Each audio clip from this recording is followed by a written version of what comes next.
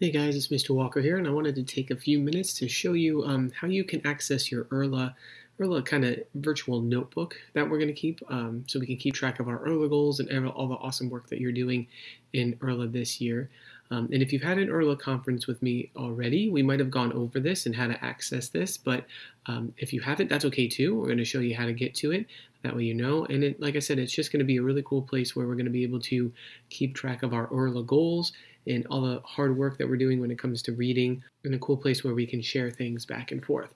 So to start, what you guys are going to want to do is go to My Pasco Connect, okay, and you're going to sign in just like you normally do.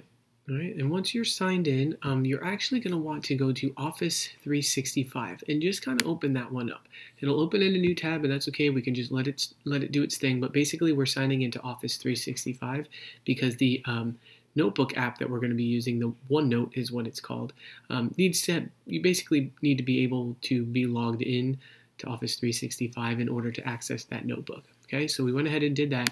I'm actually going to go back to my Pasco Connect now, and we're going to go to My Learning. So your Canvas courses, where all of your coursework is. Right, I'm in my Canvas courses now, and your IRLA OneNote notebook is actually going to live in your language arts course. So I'm going to go to the language arts course, and if you look now in the menu items, once it loads, one of them is called the class notebook.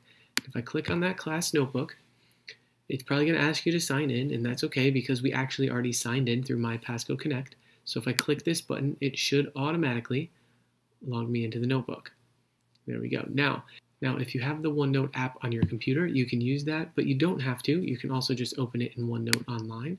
So if I click there,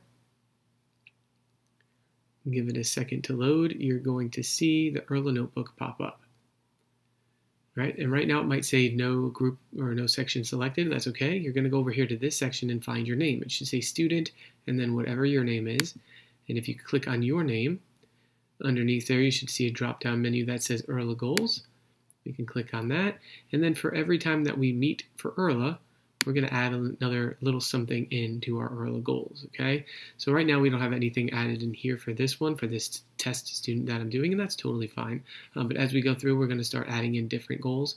And then if we put a goal in here, like uh, comparing and contrasting different stories, we'll put that in here as a goal. And then as we go through the week until the next time we meet for IRLA, you can put in here any details that you found comparing and contrasting different stories, anything that you want to share with me, and whatever you type on your side of things, I'll be able to see on my side of things, and vice versa. So it's pretty cool, a nice way that we can interact and go back and forth and, and share what we're learning about reading.